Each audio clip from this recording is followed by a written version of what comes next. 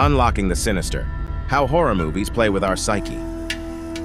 Darkened rooms and eerie silences, horror movies masterfully play with our fears, heightening our senses and probing our darkest corners. But how do they manipulate our minds so skillfully? In the world of horror, characters are often manipulated, their personalities cloaked in darkness. They're shaped by fear, and it's this fear that changes them, makes them do unspeakable things. Darkness becomes their reality, altering their perceptions. Just like us, these characters have no idea what lies ahead. Caught off guard, their reactions echo our own fear, anxiety, and ultimately, a fight for survival.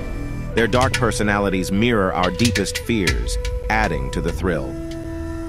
The creators of horror films don't just tell a story, they create an atmosphere of suspense and dread. They use sounds, visuals, and even silence to make us uneasy.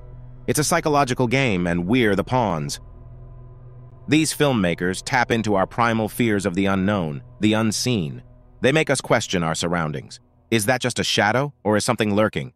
It's this uncertainty that fuels our fear. Horror movies are not just about blood and gore. They're about the complex dance between fear and fascination. They make us confront our own darkness, forcing us to question, do we enjoy being scared?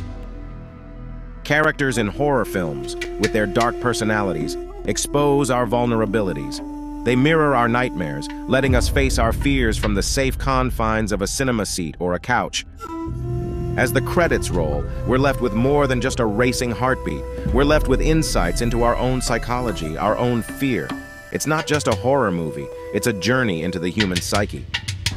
Unlocking the Sinister How Horror Movies Play with Our Psyche a chilling exploration of fear and fascination, an invitation to confront your own darkness, all under the flickering light of the silver screen.